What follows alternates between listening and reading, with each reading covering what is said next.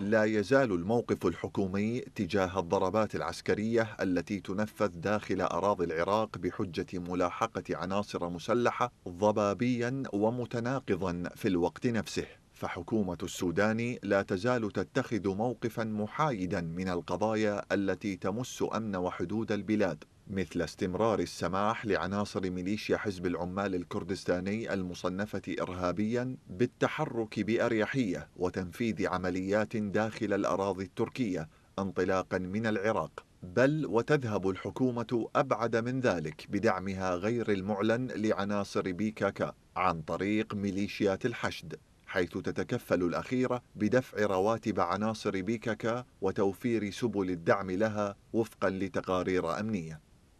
ورغم مطالبات أنقرة المستمرة لحكومات بغداد بطرد عناصر بيكاكا وتجريم نشاطاتهم يقابلها تعهدات حكومية بوضع حد نهائي لنشاطات بيكاكا شمالي العراق إلا أن الأخيرة لا تزال تنفذ عملياتها من مناطق مختلفة. وهو ما يدفع تركيا لتنفيذ هجمات داخل الأراضي العراقية باستمرار معلنة أن أمنها القومي مهدد وأنها مضطرة للرد.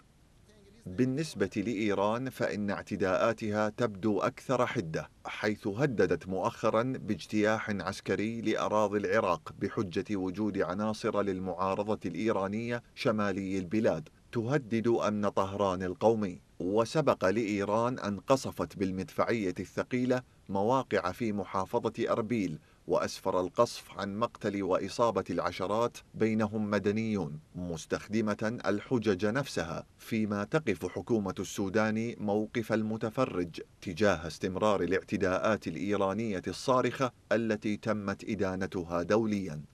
وفيما يخص موقف سلطات كردستان العراق فقد أعلن أعضاء في الاتحاد الوطني الكردستاني أنه ليس أمام القوى الكردية الكثير من الخيارات لمنع الهجمات الإيرانية أو التركية وأقروا بأنها لا تمتلك وسائل ردع كافية لمواجهة تلك الانتهاكات.